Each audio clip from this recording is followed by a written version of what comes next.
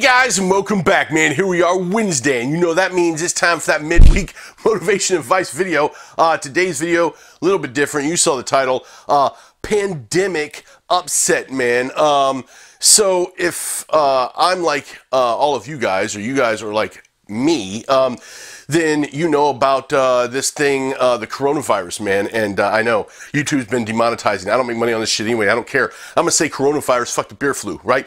I don't care about that, right? Coronavirus going around, right? This pandemic is all over the damn globe, man.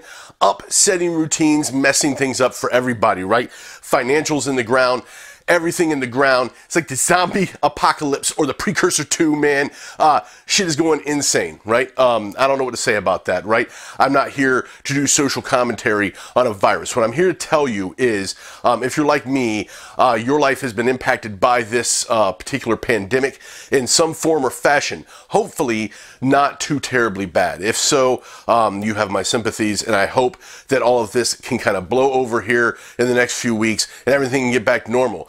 However, um, if you are like me, uh, for sure your gym is closed, right?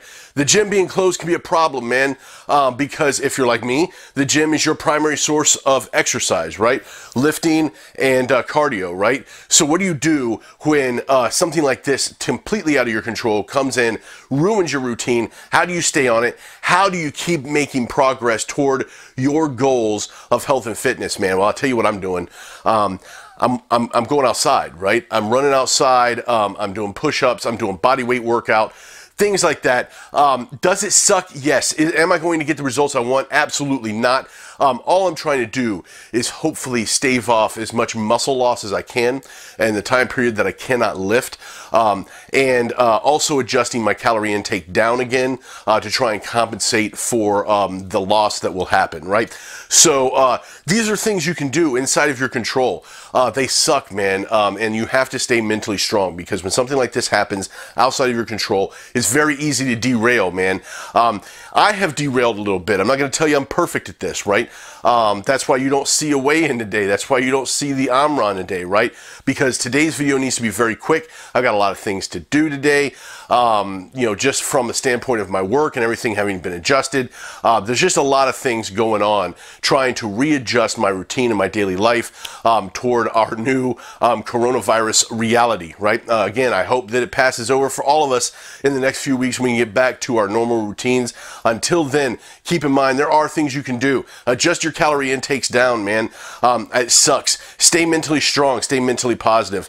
Um, do body weight stuff. Run more. Uh, walk more. Uh, whatever you can do, uh, try to get out there and do it, man. Um, I know it sucks. There's not an easy way to go about it. Um, however, if you stay mentally strong, mentally positive, and you take a little bit of effort, you can get through this and you can arrive on the other side of this, at least not worse off than you are right now. Anyway, guys, good luck out there, man. Stay safe, stay healthy, man. Uh, like and subscribe. Leave me some comments. Let me know what's going on with you guys. And as always, thanks again for watching, and I'll see you later. Bye.